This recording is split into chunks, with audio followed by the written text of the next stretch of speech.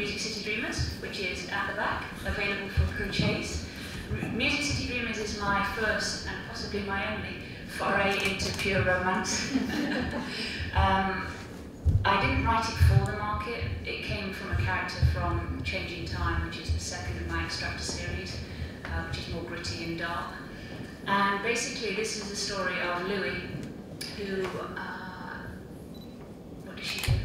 She, she wants be a songwriter uh, in Nashville.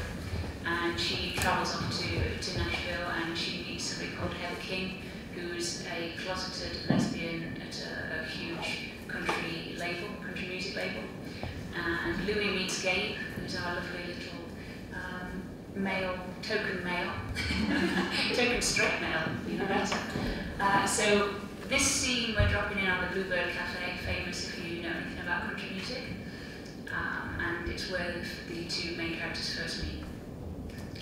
Heather glanced at the other occupant of Gabe's table, and warmth wrapped itself around her body like a blanket of undiluted desire. The person stood and smiled knowingly, as if acutely aware of their universal appeal. Their eyes promised an explosive encounter, but there was a clear non-physical barrier that guarded their heart and would offer nothing more. Perhaps precisely what Heather needed after two years of career-controlled celibacy. The cool night breeze slipped through the open door and traversed her spine with the feather-like touch of a familiar lover.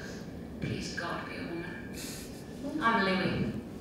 The moniker was inconclusive, but the soft tone of her voice made it clear Louie was a woman. The lack of an Adam's apple as Louie lifted her chin to reveal a faintly tanned and slender neck was additional proof. Heather found herself wanting to trace her tongue along it and taste Louie's skin. She reluctantly pulled herself from her absorbing fantasy to acquiesce to social etiquette and held out her hand. Louie took it, far gentler than Gabe, and kissed her knuckles. Heather was struck by the chivalrous nature of the gesture and had to stop herself from giggling. Was this what she'd been missing out on by just dating high femmes? Louie draped her arm over Gabe's shoulder, and Heather saw his spark reignite. Had she misread the situation and they were together? They certainly made an interesting combination and subverted so many stereotypes they probably boggled the ass of right-wing and die-hard country fans on four or five different counts. You right for me? Gabe asked. Struggling to get a handle on the two of them, Heather scuttled for a new angle of conversation. They seemed so naturally familiar, and yet Gabe's surprise at Louie's offer indicated a new relationship. Just friends? Heather could hope. Instead, she decided Emma could wait a few more minutes to give her time to push for confirmation. You're a writer? Louie nodded. I am. Is your label looking for fresh talent there too?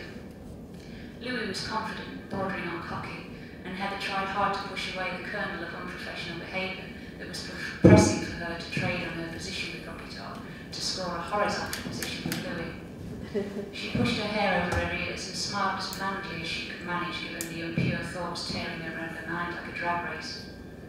Rocky Top are always looking for the very best of writers and performers. Do you see? Heather wasn't sure why she asked that particular question. It was hard enough to get away from the bewildering blandness of a whitewashed country scene. She'd waited at convincing him to love a short-haired woman who could easily pass as a handsome man was some years away. Louie laughed. I can hold a tune, but I'm no Savannah Hayes. I'm just a wordsmith.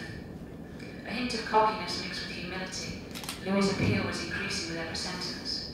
So you write and your boyfriend sings? Louie's mouth curled into that exceptionally sexy, knowing smile again. And Heather cursed her lack of flirting finesse.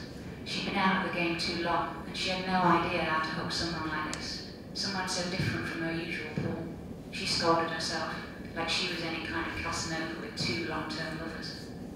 We're friends and housemates. It was time to get back to Emma and out of this wildly unfamiliar situation. Heather pulled herself from Louie's gaze and checked her watch. I'm sorry, I have to see my friend before she goes on stage. i Say, perhaps we could have a drink or two after the show.